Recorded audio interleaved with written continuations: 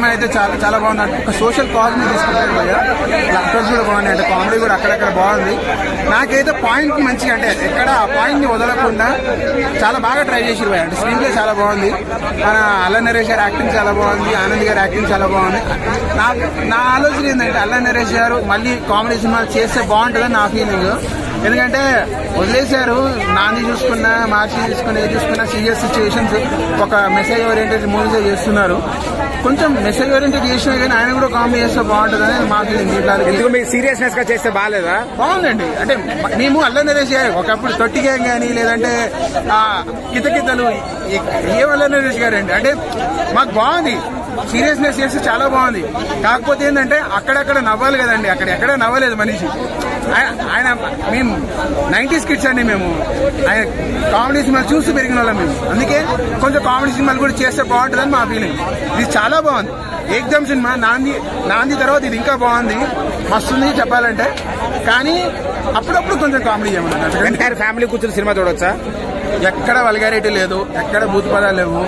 Cinema చాలా బాగుంది. Concept అయితే చాలా బాగుంది. మేడం మీరు డిసప్పాయింట్ గారు. ఒక మంచి అంటే మారుమూల ప్రాంతాల్లో ఎట్లా ఎక్స్ప్లోర్ అవుతున్నారు అన్నట్టు చూపించారు. చాలా బాగా చూపించారు చెప్పాలంటే.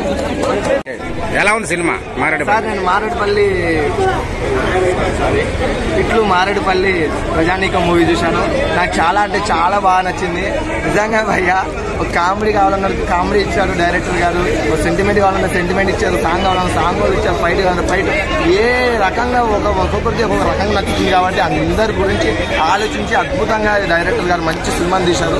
చాలా అంటే చాలా బాగుంది భయ్య. సెంటిమెంట్ మాత్రం ఇచ్చే తీసుకెళ్ళిపోతుంది నిజంగా నాకు ఎంత ఎమోషనల్ ఫీల్ అయింది అంటే ఇంటర్వెల్ దాకా మాత్రం కామెడీ ఉంటుంది. ఎట్లా కామెడీ అంటే మన జబర్దస్త్ నాగబాబు గారు రోజా గారిని చూసి మనం ఎలా నవ్వుకుంటాం? వాళ్ళు ఎంత బాగా ఆనందపడతాం మనం కూడా అంత ఆనందంగా దీంట్లో ఎన్ఎల్ కిషోర్ గారు మంచి కామెడీ చేసి చూపించారు. నాకు చాలా అంటే చాలా బాగా నచ్చింది.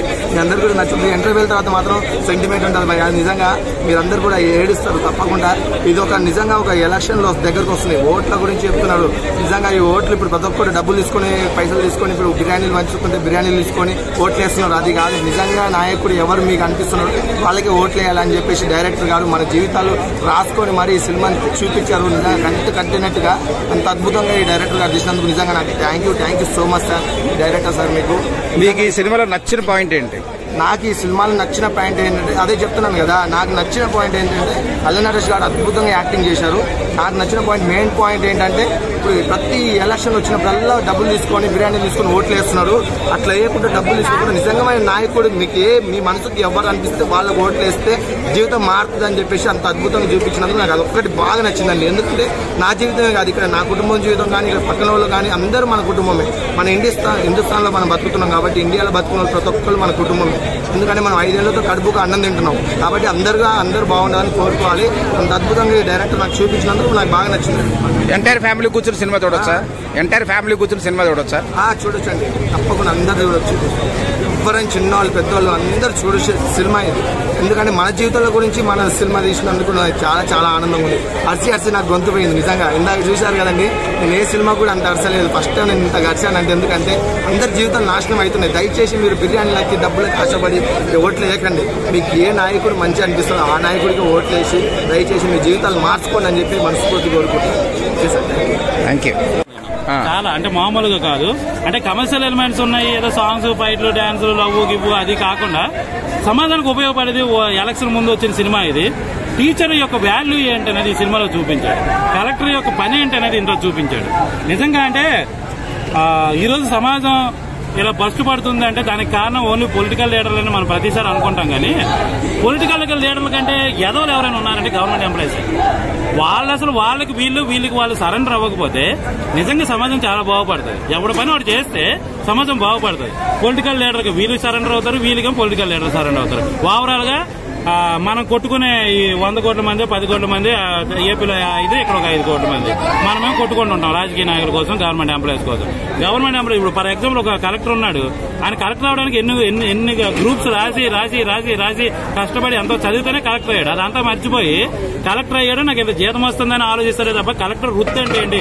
జనాలకి నేను ఏం చేయాలి? కలెక్టర్ యొక్క పని ఏంటి అని తెలుసుకొని ఆ ప్రజలకు అది సేవ చేయగలిగితే అది కలెక్టర్ వృత్తికి నువ్వు చేసే ఉద్యోగానికి వాల్యూ అలాగే టీచర్ కూడా సాయంత్రం నాలుగైతే రియల్ ఎస్టేట్ కోసమా లేకపోతే ఎవరైనా చిట్ ఫండ్ చిట్టీల తాలూకు అమౌంట్ ఇవ్వలేదని వాళ్ళకి కాల్ చేసేదానికంటే స్టూడెంట్ యొక్క ఎలా చదవాలి రేపు పొద్దున్న చదివితే ఏ జాబులు వస్తాయి ఏ జాబులు చేస్తే ఎలా ఉంటది పెద్దలతో ఎలా ప్రవర్తించాలి చిన్నలతో ఎలా ఉండాలి ఇంట్లో ఎలా ఉండాలి ఒక ఆఫీసులో కొత్త వ్యక్తితో ఉండాలంటే ఎలా ఉండాలి ఇవన్నీ నేర్పేది టీచరే అవన్నీ నేర్పకుండా ఏవో ఆ నేర్పించి ఆ ఇంగ్లీషు ఇది నేర్పించి ఎగ్జామ్స్లో ఇన్ని మార్కులు వస్తున్నాయి రేపు పొద్దున్న నాడు ఏదో ఒక జాబ్ చేయడమో లేదో ఒకటి చేసి సంస్కారం ఉండదు జీతం మాత్రం సంపాదిస్తారు సంస్కారాలు ఉండవు. ఒక అసలు సమాజం ఫస్ట్ పెట్టడానికి ఒక తప్పుడు తోవలో వెళ్ళడానికి కారణము రాజకీయ నాయకంటే కంటే ముందు అన్నిటికంటే ముందు బాధ్యులు ఎవరైనా ఉన్నారంటే టీచర్లే.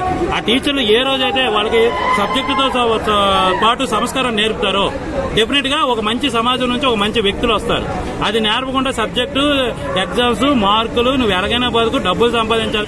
ఆ, నువ్వు ఈ జాబ్ చేస్తే ఎంత జీతం రా నువ్వు ఈ జాబ్ చేస్తే ఎంత జీతం రా కాదు.